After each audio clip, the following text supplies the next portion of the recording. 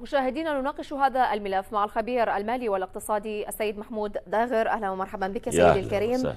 يعني حزمة تسهيلات أطلقها البنك المركزي لتوفير الدولار للتجار.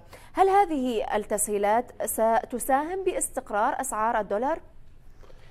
بسم الله الرحمن الرحيم. تحياتي لكم وللمشاهدين.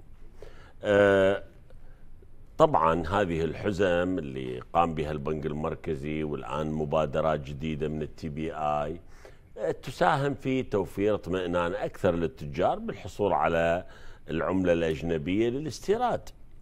لكن نحتاج إلى وقت يعني إحنا 20 سنة كنا نمول التجارة الخارجية بطريقة، الآن تحولنا إلى طريقة جديدة.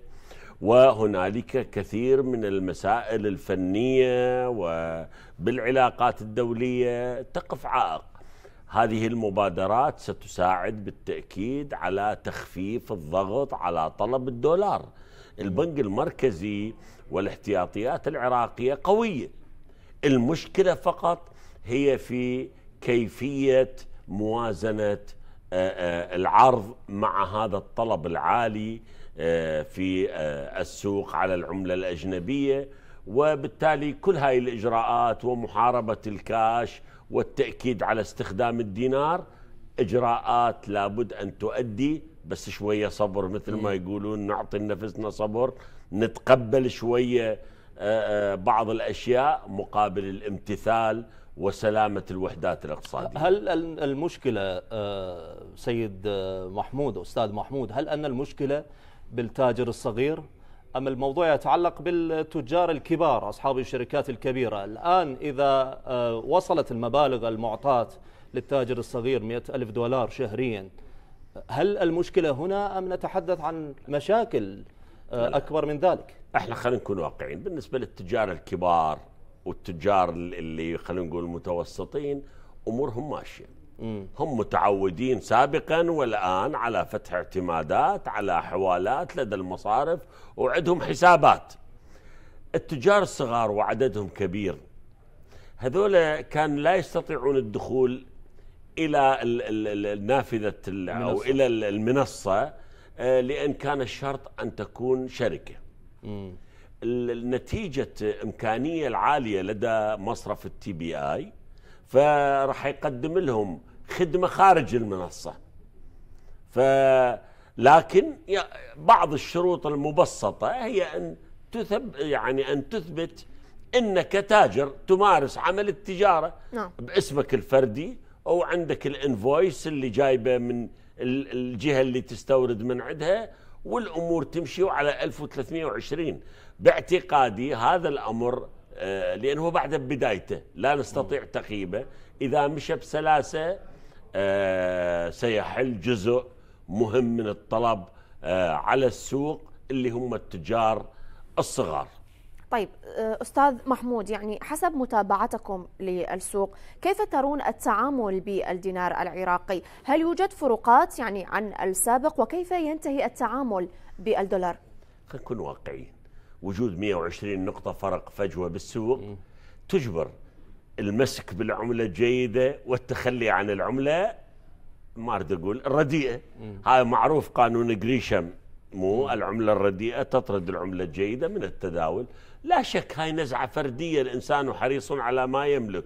آآ آآ لكن هذا الموضوع مع الحزم ومع انتشار فرق المصارف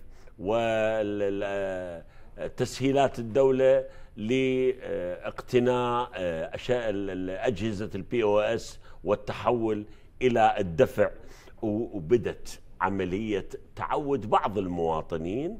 على أن يستخدمون البطاقات الدفع, الدفع لتسوية مدفوعاتهم وراح توفر لهم مرونة. ما الذي نحتاجه في هذا الصدد أستاذ نحتاج توعية. توعية فقط. التوعية مهمة بالمزايا. لكن لدينا نقص كبير في آه، الأجهزة. طبعا. وهي هي هاي قضية يعني هي قضية كلتشر ثقافة مو القضية نقدر إحنا نقول اليوم تصير وباكر تصير. هذا يحتاج لها مع التوعية مع جدية المصارف في نشر ال POS مع التزام الناس بهذا العمل واقتناعها بأنه أنا أفضل لي أستلم مبالغي بوسائل الدفع الإلكترونية. ليش أستلم مبالغ آه، نقدية عتيقة؟ ليش أستخدمها مزورة؟ ليش يصعب علي بنهاية اليوم أدقق أنا؟ قد بايع وطابق؟ نعم. هذه كلها توفر لها هذه الخاصية نعم دكتور آه عفوا أستاذ محمود يعني هل ترون ضرورة أيضا مع هذه تسهيل تقديمات أو تسهيل آه تقديم تسهيلات أكبر فيما يخص آه، البطاقات؟ طبعا الآن آه، المصارف قاعد تروح إلى المولات إلى المحلات إلى المستشفيات إلى غيرها وقاعد تقدم عروض من يستخدم بطاقتها إلى خصم. نعم. الطبيب اللي يستلم آه، المرضى لهم خصم. المستشفى الصيدلية إلى آخره. طبعا لأن هو صاحب المحل البائع هو المستفيد.